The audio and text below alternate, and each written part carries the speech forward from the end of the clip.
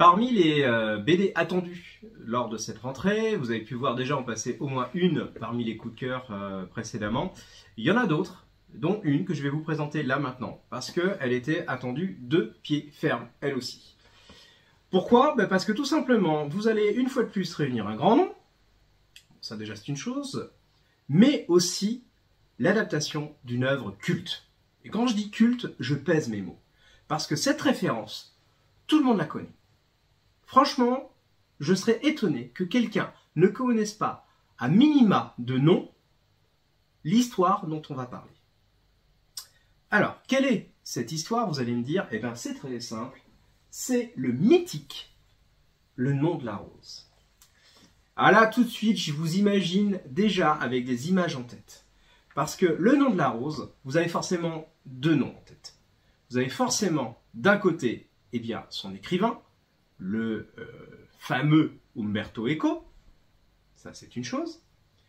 Mais de l'autre, vous avez forcément en tête, à minima, là aussi, le fameux Sean Connery pour son interprétation du film du même nom.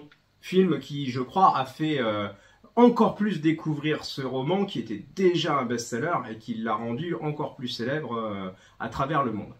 Donc déjà, quand vous avez une œuvre, parce que j'en parle pas d'œuvre, hein, une œuvre littéraire comme ça, vous dites « Wouhou !» Eh ben, bon courage. Euh, eh ben, on va aller plus loin, parce que celui qui va l'adapter, c'est une pointure, et pas n'importe qui. Milo Manara. Alors, ce nom, si vous le connaissez, et j'espère que vous le connaissez, et n'en ayez pas honte, euh, parce que c'est un chantre de la BD érotique. Beaucoup le connaissent pour le déclic, par exemple. Alors là, je mettrai peut-être pas l'image euh, sur la vidéo, hein, parce que euh, c'est pas approprié à tous les yeux. Euh, mais, faut pas oublier que depuis quelques temps, il s'est tourné vers d'autres d'autres styles, notamment avec sa merveilleuse adaptation en deux tones du Caravage. Donc là, déjà, vous voyez, là, on vous plante un décor qui est fort. Donc forcément, quand on part de là, on se dit, que faire Que dire de plus? Comment, euh, comment rendre une histoire qui est connue de tout le monde? C'est la question que je me posais, moi, quand c'est arrivé. Alors, franchement, je n'avais aucun doute quant à la beauté et à la qualité de l'histoire. Maintenant, la grande question, c'est... Euh, ok, je connais le nom de la rose. Est-ce que j'ai envie de replonger là-dedans? Est-ce que j'ai envie de relire ça? Bah franchement, moi je me suis laissé bercer le terme bercé peut-être mal choisi parce qu'on ne peut pas dire que ce soit une, histoire euh, assez euh, romantique, entre guillemets. Mais alors, par contre, le dessin de Manara, comme toujours, est, euh, sublime. Mais en plus, il a su y mêler en fait l'ambiance, ce côté gris, terne, pierreux, monastique, parce que c'est exactement ça qu'il a rendu, le côté monastique que de l'enquête que l'on va suivre en plus, avec l'adaptation dès les premières pages euh, d'Umberto Eco expliquant comment il en est arrivé à raconter, conter cette histoire, les manuscrits. Alors déjà, on vous plonge dans, quelque chose. Il alterne ce beau dessin avec cette ambiance gravure quand les gens font référence à, du passé ou à, des, ou à des écrits. Et puis vous allez suivre cette enquête, cette enquête qui va se passer au sein d'un monastère, monastère certes petit mais euh, riche, parce qu'il y a quand même 150 servants, je crois, de mémoire. Donc euh, c'est pas n'importe quel monastère quand même, hein.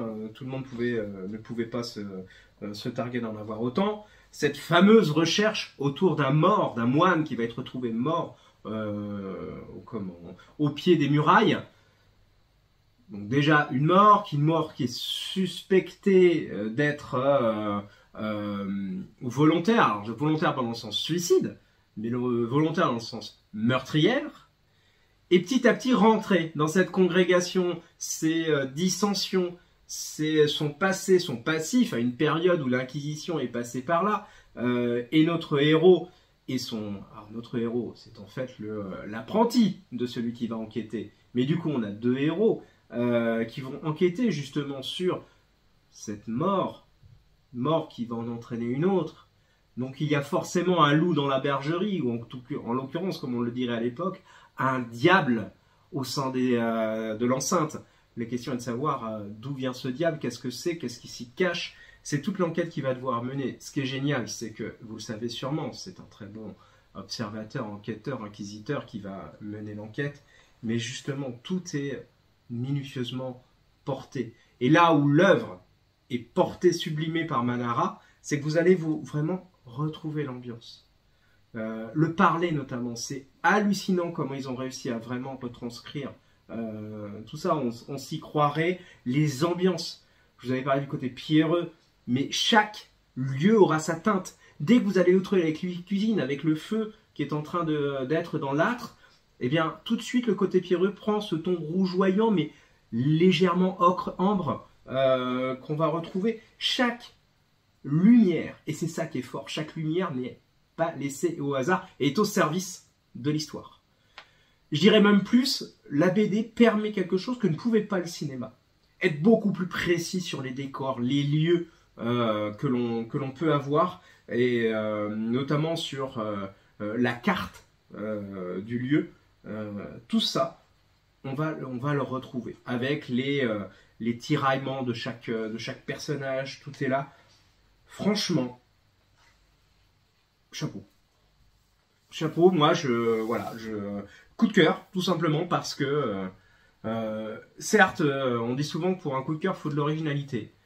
Bah, en l'occurrence, pas besoin d'originalité face à un, thriller médiéval comme ça. L'adaptation est pas loin d'être parfaite, hein, parce qu'il y a tout difficile d'être parfait, mais là, franchement, il y a, il y a pas grand chose euh, à redire, si, sinon le, si ce n'est pardon, le plaisir que l'on euh, prend à suivre l'enquête, à suivre les méandres. Encore pire quand on sait ce qui s'y cache, on, a un petit doute.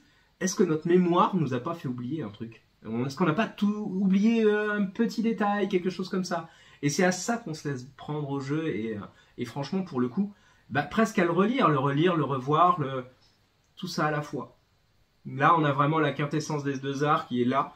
Et franchement, je vous conseille de plonger direct parce que ce sera un vrai plaisir. Donc, je vous souhaite une bonne découverte. Si vous avez besoin d'en parler, bah, vous savez où me trouver, hein, tout simplement. Euh, n'hésitez pas, n'ayez pas de crainte quant à lui. Ah oui, petite chose, parce que forcément, quand on parle de Manara, euh, certains se demandent si euh, il risque de tomber sur ces travers un peu plus légers. Franchement, euh, là, on reste vraiment dans le dans l'esprit de euh, on n'a pas, pas de dérive, hein, si je me permets. Donc c'est pour ça que je parle vraiment de, magnifier son, son, art. Donc, je vous souhaite une bonne lecture. Si vous avez besoin d'en parler, comme je disais, bah, vous savez où nous trouver. Et puis, bah, une bonne découverte. Allez, à très bientôt. Au revoir.